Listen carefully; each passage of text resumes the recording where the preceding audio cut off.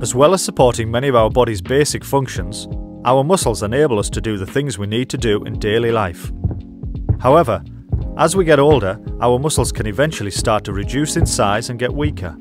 These changes can make it harder to do everyday tasks such as climbing stairs, and for some people, muscle weakness can eventually lead to a loss of independence and a reduced quality of life.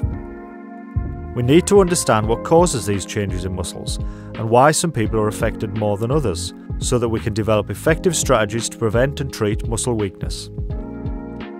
Research has an important role to play in understanding more about how our muscles change as we get older.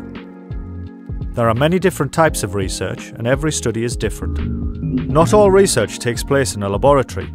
Sometimes research might involve completing questionnaires or talking to a researcher about your experiences. Some research aims to understand what changes are happening within muscle cells and how these changes affect how muscles work. This can involve participants providing samples of their muscle or blood, having images of their muscles taken, or their muscle strength measured. Some research tries to understand more about how our genes affect our muscles, while other work examines how exercise and diet can affect muscle aging. Research can help us to find ways to improve people's health and chances of ageing well. Having a better understanding of the causes of muscle weakness will enable us to develop preventative strategies and effective treatments. Patients and members of the public are at the heart of everything we do, and there are many ways to contribute to research.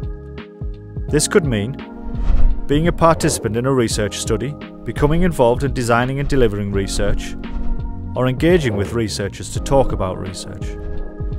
We want patients and members of the public to work alongside us at every stage of the research process, so that together we can solve the unanswered questions about muscle ageing.